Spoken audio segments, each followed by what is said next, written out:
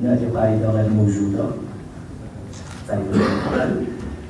وقبل ذلك سأمهد السؤال الأول. بورقة مختصرة جدا رحمة بكم وطوقا إلى أن يكون النقاش بيننا متمحورا حول المجموعة وصاحبها. تستحق شوارع الله في ضمن هذا الاحتفال بسبب تفكيرها المعلن فيما يستطيعه الأدب.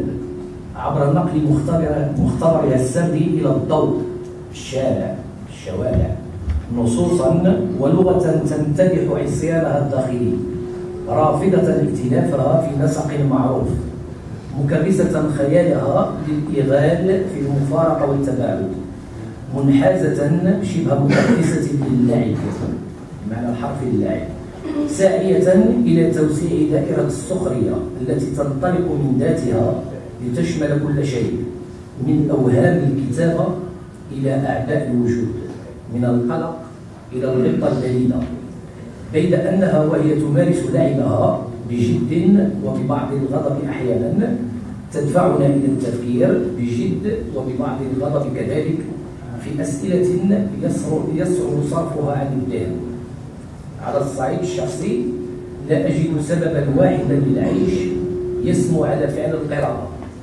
وأحب أن أكرر لنفسي أن القراءة ثمن عادل للعيش في هذه الجنة الجرداء التي تدعى حياة. ولأن الأمر بهذه الأهمية أحب أن أحكم على ما أقرأ على ضوء ما شكل على ضوء ما شكل هذه القناعة عندي. وهي النصوص التي ألهبت خيالي وجعلتني أعيش في عالم آخر مع شخصياتها. بعيدا عن عالمي وعالمها. وأثرت في أكثر مما وأثرت فيها أكثر مما فعل أي كان وأي شيء ومنحتني الحياة التي أحب وأستحق. النصوص التي تعيش معي تعيش معي ومع كثيرين غيري ولا ريب عابرة للعصور والأقطار واللغات والثقافات. من هنا أحكم حكما شخصيا على النصوص انطلاقا من أخرى عصية على النسيان كقارئ طبعا كقارئ وحسب. وفي شوارع الله الكثير مما سيظهر نسيانه وسيظل يذكرني بتلك التجارب الإنسانية التي تقطع أصقاع الخيال لتحرضني على الانتباه إلى الآخرين الذين عاشوا تجاربهم في عالم من الكلمات ليغنوا عالمي هذا الذي أدعوه واقعي في ففي قصتي صور وشوارع الله أدهشتني كلاب تنقذ العالم. أكثر مما أحزنني أحزنتني المظاهر المألوفة لبؤس الإنسان وبلاهة أحلامه.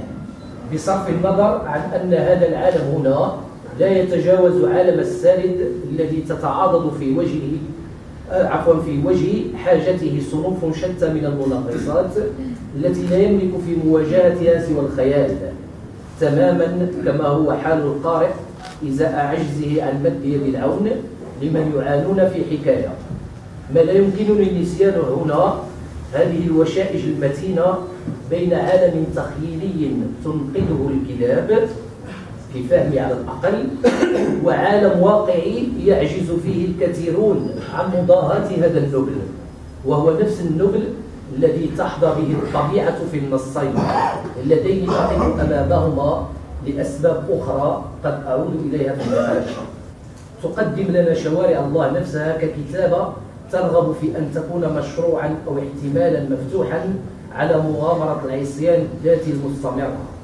كتابة حاملة للتناقضات مثيرة للانتباه تبلغ أحيانا ذروة التصوير الشعري البديع لتتنازل عنه فورا فاسحة المجال لإسهام في الوصف والتفصيل بالغ الجموع ويكفيني أن أتم أتم أتأمل الطبيعة الماسية القاطعة لبعض الصور الشعرية النابعة من أقاصي الأرق المعتق.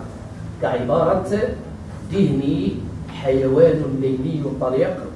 القصة الأخيرة اسمها بها مجموعة مجموعة شوارع الله التي تطلق العنان لاستدعاء كل تلك الكتابات العظيمة التي تضمن الذاكرة الإنسانية بفروقها